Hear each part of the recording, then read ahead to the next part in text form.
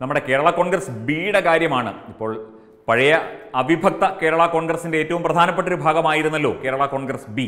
പിന്നീട് അതിനെ മധ്യ തിരുവിതാംകൂറിലേക്ക് കൊണ്ടുവന്നപ്പോൾ അതിന് ഒരു ക്രിസ്ത്യൻ മത മത മതത്തിന്റെതായ ചില ചേരുവകളൊക്കെ ഒക്കെ ചേർത്ത് കേരള കോൺഗ്രസിനെ ക്രിസ്ത്യാനികളുടെ അല്ലെങ്കിൽ സുറിയാനി ക്രിസ്ത്യാനികളുടെ പാർട്ടിയാക്കി മാറ്റിയ മഹത് വ്യക്തിത്വങ്ങളെക്കുറിച്ചൊക്കെ നമുക്കറിയാം. നമ്മുടെ കെ എം മാണി സാറിനും അതിനു മുമ്പുള്ളവർക്കും അതിന് പിമ്പിപ്പോൾ മകന്റെ കാര്യം നമ്മൾ പറയുന്നില്ല. പക്ഷേ അന്ന് ഈ നാരായണക്കുറുപ്പ് സാറും അതുപോലെ തന്നെ ബാലകൃഷ്ണപിള്ളയും ഒക്കെ തന്നെ അതിശക്തരായി നിന്നിരുന്ന വ്യക്തിയാണ്. അതിലിപ്പോൾ നാരായണക്കുറുപ്പ് സാറിന്റെ മകനുണ്ട്. Doctor Jayaraj M L A. അദ്ദേഹം മാത്രമാണ് അവരുടെ കൂടെയുള്ളത് ബാക്കി എല്ലാവരും വിഘടിച്ച് പല കഷ്ണങ്ങളായി ജേക്കബായി. അതുപോലെ തന്നെ കേരള കോൺഗ്രസ് തന്നെ പി സി ജോർജ് പിന്നീട് പോന്നു. പി- സി തോമസ് പിന്നെ പോയി. അതുപോലെ തന്നെ ബാലകൃഷ്ണപിള്ള നേരത്തെ തന്നെ പോന്നു. അപ്പോൾ ഈ വളരും തോറും പിളരും പിളരും തോറും വരൾ ക്ഷമിക്കണം വളരും എന്നൊക്കെ പറയുന്നത് ഇവരെക്കുറിച്ചാണ്. ഈ വരളും എന്ന് പറഞ്ഞാലും തെറ്റൊന്നുമില്ല. വരണ്ടുണങ്ങിയിരിക്കുകയാണ് എന്ത് വേണമെന്നറിയാതെ ഇരിക്കുകയാണ് കേട്ടോ. എന്തായാലും ഈ എൽ ഡി എഫിനൊപ്പമാണ് നമ്മുടെ ബാലകൃഷ്ണപിള്ളയും മകൻ Shri K B Ganesh Kumar M L എയും ഒക്കെ നിൽക്കുന്നത്. അപ്പോൾ ഈ തെരഞ്ഞെടുപ്പ് വരെ അവർ അവിടെ നിൽക്കുകയുള്ളൂ എന്നാണ് ലഭിക്കുന്ന വിവരം. രണ്ട് ദിവസം മുൻപ് വന്ന വാർത്തയാണ്. എന്നാൽ പോലും അത് ഏതാണ്ടൊരു സ്ഥിരീകരിച്ച മട്ടാണ്.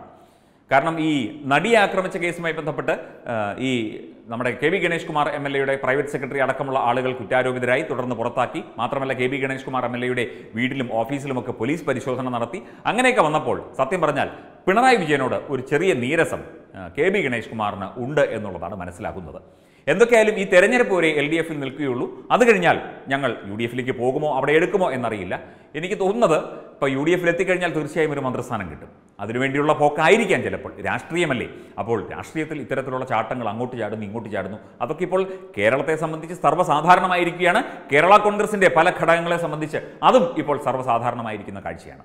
ജോസ് കെ മാണി കടന്നു വരുന്നത് എന്തിനാണ് ഏതിനാണ് എന്ന് മനസ്സിലാകുന്നില്ല. സത്യം പറഞ്ഞാൽ ജോസ് കെ മാണിയുടെ ആ ഒരു കടന്നു വരവോടെ ഇടതുപക്ഷത്തിന്റെ മധ്യ തിരുവിതാംകൂറിലെ ഉള്ള ശക്തിയും കൂടി ഇല്ലാതായി എന്നാണ് പ്രദേശവാസികളായ പല സഖാക്കളും തന്നെ പറയുന്നത്. കാരണം ഇത്തരത്തിൽ ഒരുത്തനെ ഇങ്ങനെ കൊണ്ടുവന്ന് ഇവിടെ പ്രതിഷ്ഠിച്ച് വെക്കേണ്ട കാര്യമില്ലായിരുന്നു എന്ന അഭിപ്രായമാണ് സത്യം പറഞ്ഞു കഴിഞ്ഞാൽ അവിടുത്തെ സി പി എംകാർക്കുള്ളത് കെ ബി ഗണേഷ് കുമാർ പിന്നെ വേറൊരു കാര്യമുണ്ട്.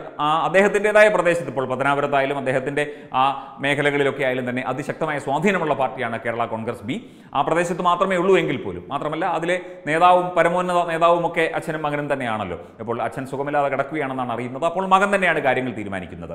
എന്തായാലും എൽ ഡി എഫ് ഇട്ടാൽ യു ഡി എഫിലേക്ക് ഇവരെ എടുക്കുമോ? അല്ലെങ്കിൽ യു ഡി എഫിലേക്ക് പോകാതെ വേറെ എവിടെയെങ്കിലും പോയി സ്വതന്ത്രമായി നിൽക്കുമോ? അതോ ഇനി എൻ ഡി എയിലേക്ക് എത്തുമോ? എന്നൊക്കെയാണ് ഇപ്പോൾ ആൾക്കാർ ചർച്ച ചെയ്തുകൊണ്ടിരിക്കുന്നത്. എന്തായാലും ഈ തെരഞ്ഞെടുപ്പ് വരെ എനിക്ക് തോന്നുന്നത് നിയമസഭാ തെരഞ്ഞെടുപ്പ് വരെയാണോ? അതോ ഈ തദ്ദേശ സ്വയംഭരണ തെരഞ്ഞെടുപ്പ് വരെയാണോ എന്നറിയില്ല. എന്തായാലും ഈ അടുത്ത തെരഞ്ഞെടുപ്പ് അടുത്ത കാലം വരെ Kerala Congress B L D എഫിൽ ഉണ്ടാകൂ എന്നാണ് മനസ്സിലാകുന്നത്. അതുപോലെ തന്നെ ലീഗ് എൽ ഡി എഫിലേക്ക് പോകാൻ ശ്രമം നടത്തുന്നുണ്ട് എന്ന് അറിയാൻ കഴിയുന്നു. അപ്പോൾ എൽ ഡി എഫ് കൂടുതൽ ശക്തിപ്പെടുമോ ദുർബലപ്പെടുമോ യു ഡി എഫിന് എന്ത് സംഭവിക്കും? എന്തായാലും രാഷ്ട്രീയമല്ലേ നമുക്ക് കാത്തിരുന്ന് കാണാം. വെബ് ഡെസ്ക് പത്തുമൈ ന്യൂസ്.